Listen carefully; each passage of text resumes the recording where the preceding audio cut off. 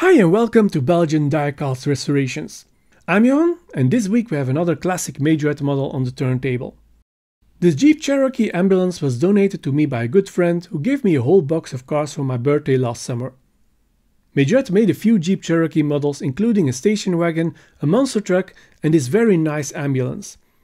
The ambulance was issued between 1980 and 1990 and makes this the most recent model on my channel yet. In its 10 year run, it went through a couple of changes, mainly in delivery, and made the transition to production in Thailand in its final year. This model with the cross on the hood was issued between 1980 and 1984 and came with dark blue or light blue windows, which also incorporated the beacon.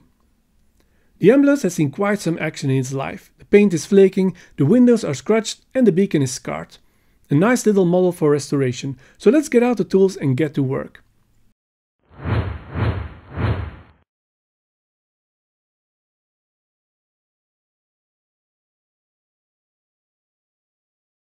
The model is held by one rivet in the front and a lip in the back. I drill out the rivet and the model comes apart.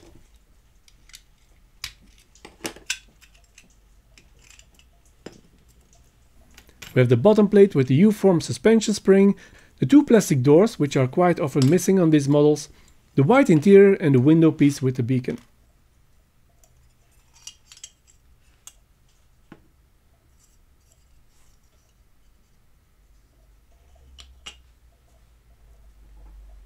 The suspension just clips loose to remove the wheels.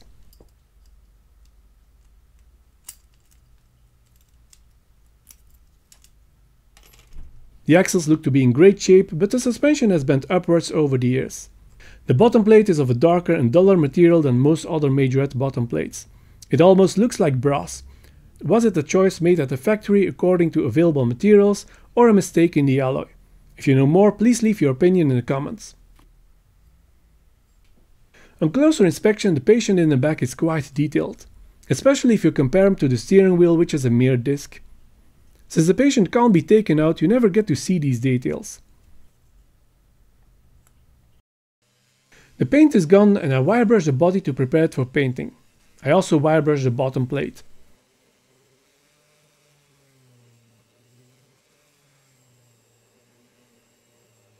Then I drill a 1.5mm pilot hole in the rivet post and I tap a 2mm screw thread and fix the screw.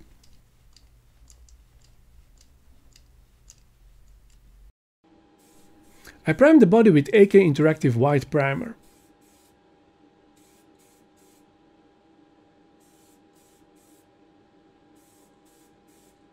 Then it is sprayed with Motip High Gloss White.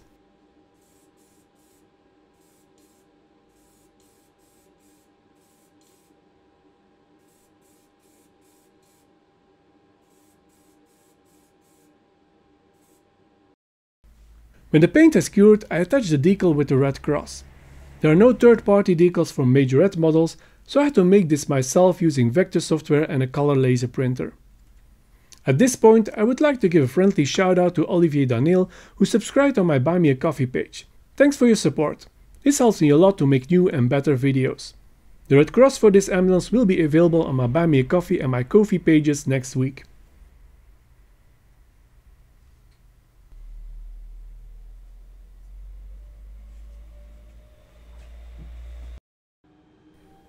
Finally, the paint job is sealed with Vallejo polyurethane gloss varnish.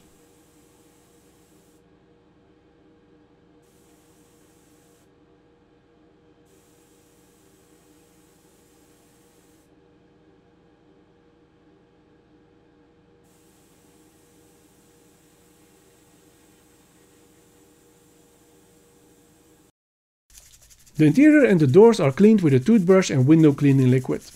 Some stubborn spots in the doors are removed with a magic eraser. There is some slight yellowing on the plastic parts, but not as bad that it needs retro brighting. The dull axles and the suspension spring are polished with the wire brush to bring back their shine and the wheel hubs are touched up with Molotow chrome.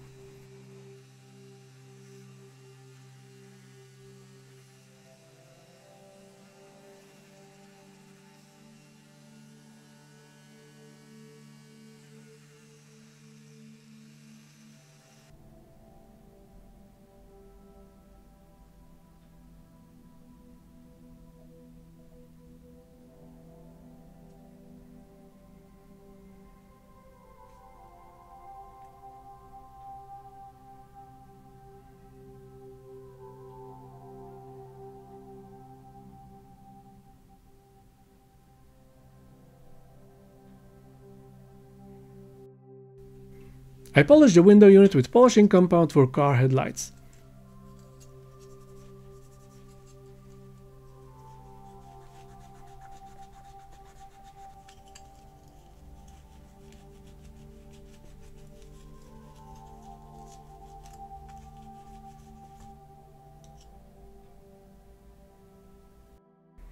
The beacon is roughed up, and I give it a new coat of Tamiya transparent blue to hide the bruised spots.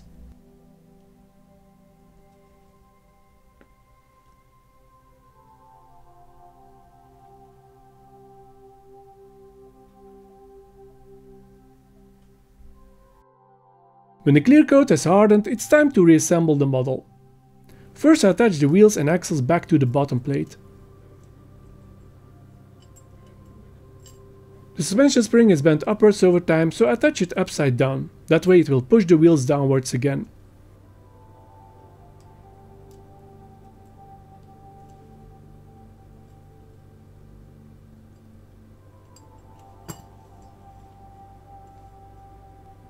Then I drop in the polished window piece with the painted beacon, the clean interior and the two doors which are held in place in the holes of the interior.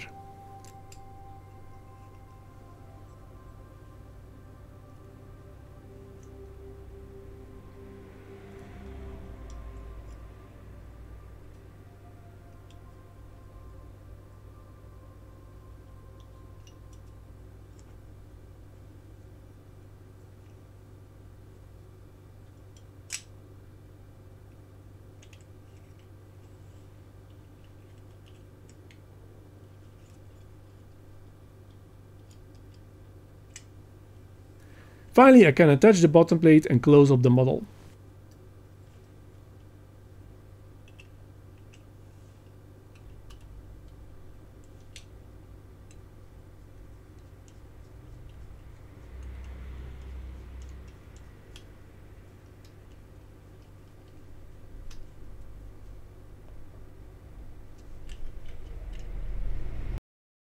Let's have a look at what we started out with. This Jeep Cherokee ambulance was pretty play-worn, with flaking paint, a sagged suspension, scuffed windows and beacon, and it was overall dirty and in dire need of a refresh. And this is the model after restoration with a brand new coat of paint, a new cross decal, cleaned and polished windows interior and a refreshed beacon. I reversed the bent suspension so that it pushes down on the axles again lifting the body like it should. Thanks for watching. If you enjoy my videos, don't forget to subscribe to my channel and tick that notification bell. More restorations are coming up. See you in the next video.